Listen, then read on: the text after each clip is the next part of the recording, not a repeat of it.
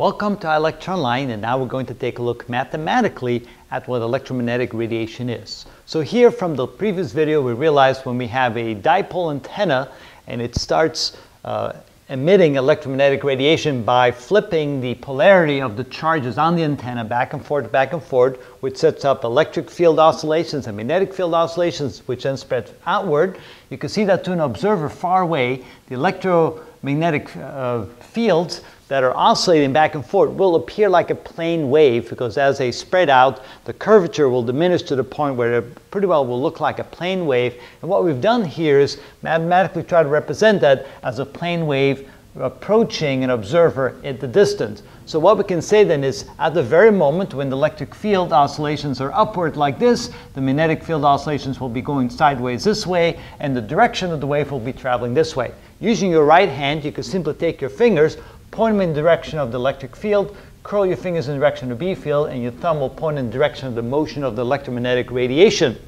So as the electric field goes up, B field goes this way. As the electric field goes down, B field will go in the opposite direction, kind of what you see in here, where the electric field is down, B field is in that direction, the electric field is up, B field is out of the board. So you can see that is in line with what we have over here.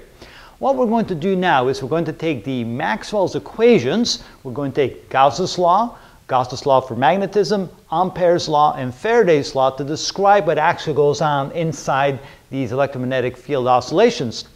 And by doing that, we'll be able to come up with equations that describe the motion and the existence of these electromagnetic waves. Maxwell had a very good understanding of this and was able to compare those two. And actually, from that, he was able to determine the speed of light using these, these equations right here. A tremendous accomplishment. So, quickly reviewing here is that Gauss's law says that if we draw a Gaussian surface around the wave like this, we can say that the product of the electric field strength along the surface multiplied times the area of the surface will always equal to the Q inside, the charge inside, divided by epsilon sub naught. Of course, Maxwell realized that when we have electromagnetic radiation, there is no charges inside, and so therefore you would expect this to be zero.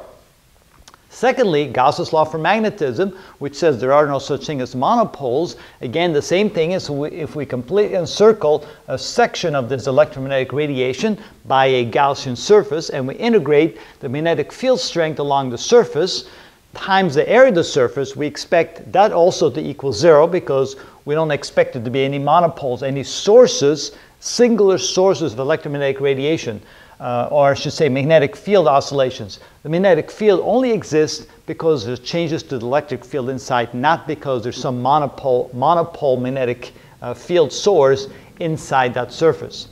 Thirdly, we can look at Ampere's law. Ampere's law says that if we integrate the strength of the magnetic field around a loop, that should always equal the current inside that loop. Now you can see there's not going to be any current inside the loop, but they also realized that it can also be equal to the change in the electric field flux per unit time times some constant. This, of course, is the permeability and the permittivity of free space. Permeability and permittivity of free space right there. And so, even though this is going to be zero because there's no current enclosed, there's going to be changes in the flux of the electric field, which will cause the magnetic field to exist. So there we already saw the relationship between whenever there are changes to the flux of the electric field, there will be the existence of a magnetic field. And so this equation, Ampere's law, bears that out. And finally, Faraday's law says that if we do a, a loop integral, uh, and then we multiply the electric field along that loop times the direction and the distance of that loop, we should, that should always equal to the change in the magnetic flux as a unit of time.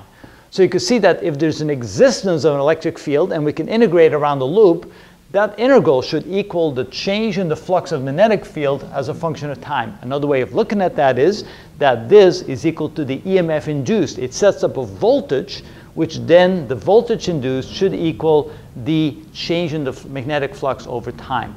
So what we're going to do is we're going to actually apply these equations, these Maxwell's equations, to an, an emerging and a moving electromagnetic wave, and from that we should be able to describe equations that determine the exact what is exactly going on inside this wave. So that's what we're going to do. We're going to take Maxwell's equations, apply it to this situation, and come up with equations that describe what actually happens when you have electromagnetic radiation in mathematical terms. So stay tuned if you're still interested, and we'll show you how to do that.